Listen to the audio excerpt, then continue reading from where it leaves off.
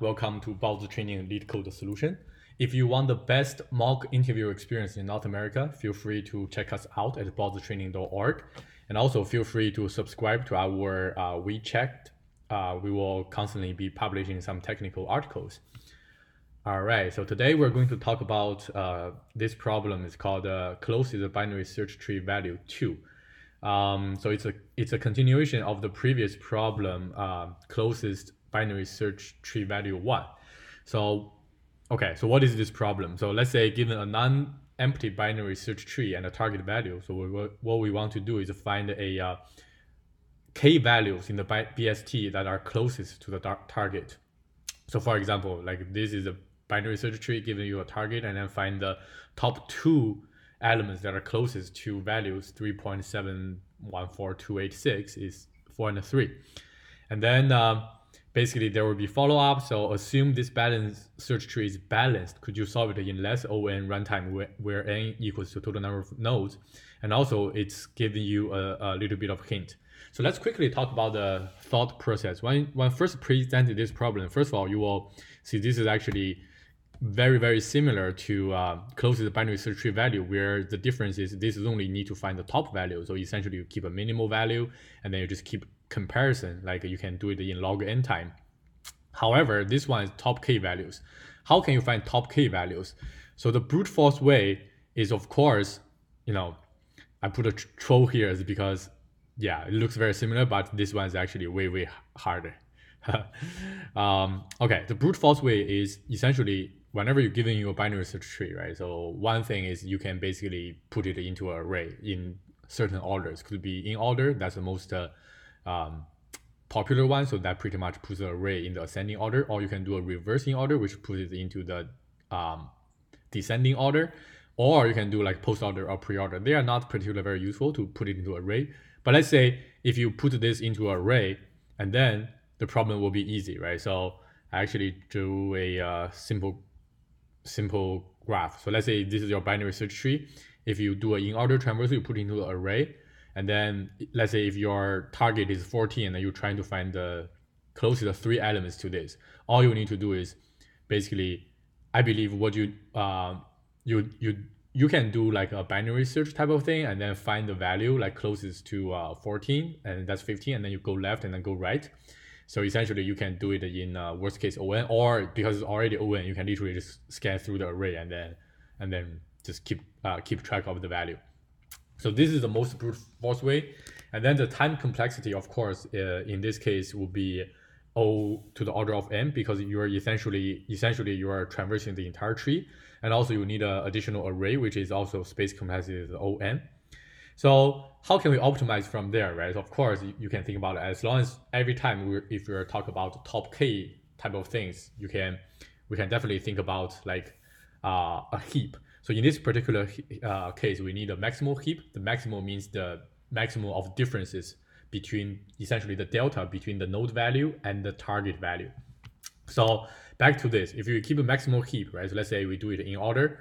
So essentially what we do is we have 7, 10, 12. This is our order. But remember, this is a maximal heap. The the value, the comparator we're going to implement is the based on the uh, differences between the node. So basically 7. So first you have 7, you put it into the heap, and then you have 10. And then uh, because it's less than because it's less than the size of 3, so you just keep pushing, and then you push 12. The reason 12 is pushed uh, later, oops, the reason 12 is pushed later is because the target is 14, the difference is 2, and then 7, the difference is 7. So the, in order to maintain the maximal heap, 7 has to be on the top. So remember, it's, it's a maximal heap of a difference, not the actual value.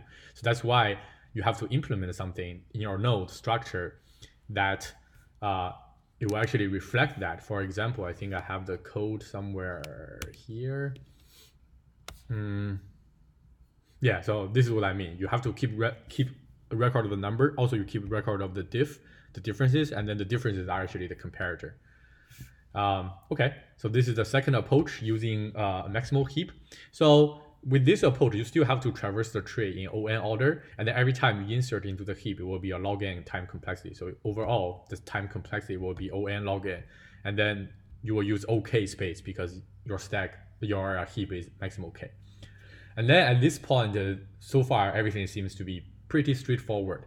And now, basically, they want to push it to you. So hey, can you actually do it in uh, less less of ON time? The answer is actually no. Uh, here I'll explain it. So here there's a LeetCode uh, discussion group. Um, this guy proposed this method. It's essentially following the hint, right? So the hint is okay.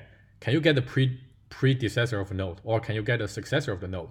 The predecessor means basically the next the node, the next smaller node to end. Basically, it's kind of like in the in order traversal, the, the node right be, uh, before it, and then this successor is the node larger than that, which means in the in order traversal, the node is slightly is next largest to this one.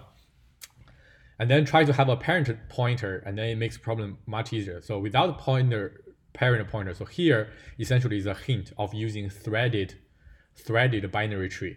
So this is a threaded binary tree, and we have to use a what do you call it a double threaded binary tree. Essentially, is this tree will have will have like a two node, uh, a left and a right. So that's the binary tree, and then they will have a pointer previous points to the in order traversal the pre, the predecessor, and then the next one is points to the in order traversal the post processor. But it's a little bit of stretch for an interview to be honest. So I don't think I listed here as a, just a uh, this is another one. I listed here as a thought, food of thought. Here using threaded tree, but I don't think everybody will do that in actually real interviews because it's a little bit too stretch for interview and also you change the tree structure. So this idea is okay, following that, if you cannot basically thread the trees, and then you just have to have two stacks keep keep a record of one is the successor, the other is the predecessor.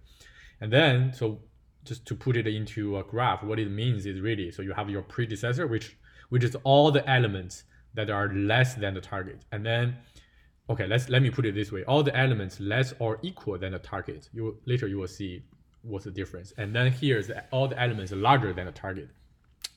So essentially, what what we do is we will still kind of uh, do a uh, uh, let's say a uh, in order traversal type of thing. And then you have a seven, you have a 10, you have 12. So you just keep the natural order. And then here you do a reverse, reverse in order traversal, which means you traverse the largest, the rightmost element first. So that's, you have 20 and 15.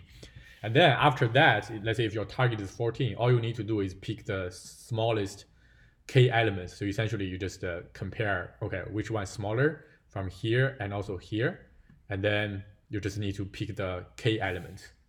So here, when you implement the iterator, not the iterator, when you put the element, just remember, you know, it's like in order to avoid duplicates, right? So you have to have less or equal than, or else this element, if you have the element exactly the same, let's say here you have element 14, it will appear in both. So you can either choose less or equal than in the predecessor, or you can choose this way. It's also the same. Is also the same. Okay. Um, yeah. So with this approach, I think you know think about it. The worst case should, would still be O. Uh, the time complexity would still be O m plus k because you have to traverse all the trees. Think about all the elements are actually less or larger than the target. You have to traverse the tree regardless, and then plus O n because you have to um, iterate through k times, right? However, the problem assume if the BST is balanced, can you do it better? So if it is balanced, that means ideally when you traverse the tree, it should only take log n time and then plus k. And then the space complexity uh, for this approach is pretty much um, it's on because you have to put all the nodes essentially into two stacks. So the threaded tree, I talk about it. I think it's a stretch, but feel free to read it. So the solution, okay, the brute force one, I'm not going to code it up, just code it on your own.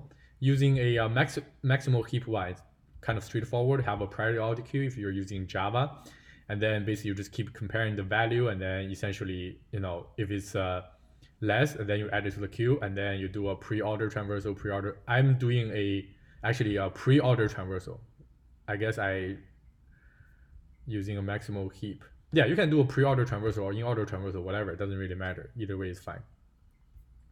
Did i say what kind of traversal i used? Yeah in any order is fine yes Uh, this is using the two stack one. So essentially, you know, you have a predecessor stack, successor stack, and then you have to traverse it uh, first of all in order and then reverse in order. Now you have built up your two stacks, and then you are having this while loop. Essentially, if it's empty, just remember this case, you have to keep pushing, and then or else if they both have values, you always choose the smaller one, vice versa, and then you iterate the k times. So one small part is remember, so like I said, you know, either in the in order or reverse in order, you, you need to have a large or equal than because all else, so this is essentially the part that potentially can cut, can return early. That means basically if it's a balance, this should be a log n type of a complexity, but you cannot have like both is larger or equal than because then you have duplicate elements. Okay, here's the link of the LeetCode discussion. Uh, leave comments below if you have any questions. But um, yeah, that's it. Till next time. See you